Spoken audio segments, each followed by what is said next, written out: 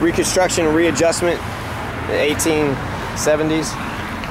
The United States faced two fundamental tasks during the Reconstruction period, 1865 to 1877.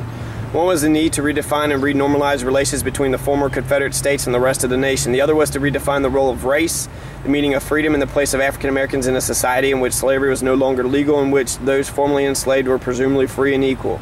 Kentucky was often at odds with national policy during this tumultuous time.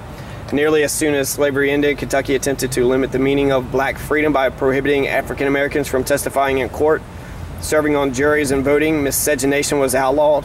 Schools were segregated if there were schools at all. Tax rolls, schools and marriage, and other public records were separated by race. Blacks were subject to more severe penalties for various crimes than were whites. Economic opportunities available to African Americans were restricted to menial, domestic, or agricultural labor.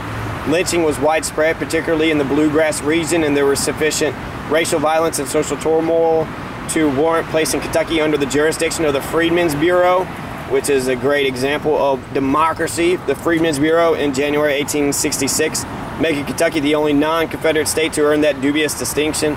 Ultimately, civil rights for African Americans were secured through the 13th, 14th, and 15th Amendment, but the ability to exercise those rights were constrained by the continuing opposition of white Kentuckians.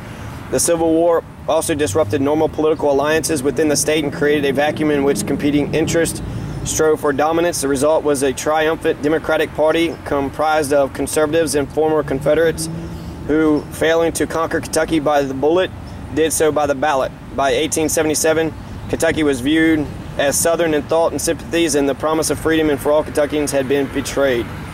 In fact, Kentucky was said to have uh, succeeded from the Union after the Civil War, after the Appomattox. So we chose the side of the uh, winners. We chose the side of the Yankees, the Union, and then after we won, we decided to side with the losers. so we had a massive case of National Stockholm Syndrome, kind of like the Egyptians almost had with their recent election.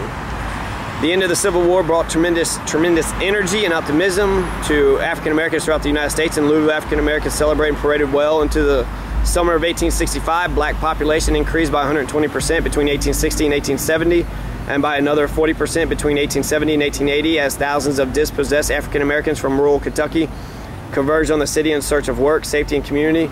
Rapid population growth produced extreme crowding and prompted the evolution of new black neighborhoods in the city and new black hamlets elsewhere in Jefferson County, each of which soon became home to at least one school and at least one church.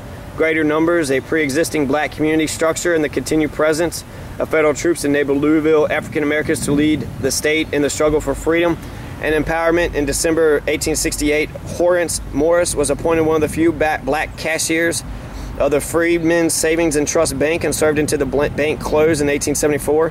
Freedom rides were organized through Quinn Chapel AME Church to challenge segregation on local streetcars. As early as 1870, in October 1870, petitions and protests resulted in the first public schools for African Americans in the city, and by 1873, the opening of the Central Colored School at 6 and Kentucky Streets.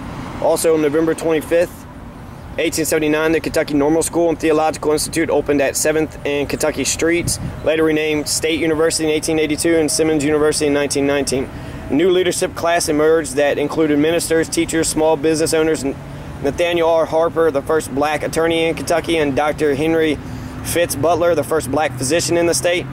Some allied with influential whites and encouraged African Americans to better themselves within the constraints of segregation. Others championed the cause of racial equality and justice and often demanded a larger role within the Republican Party. By the end of Reconstruction, Louisville African Americans had expanded and strengthened their community, and although still embattled, remain guardedly optimistic.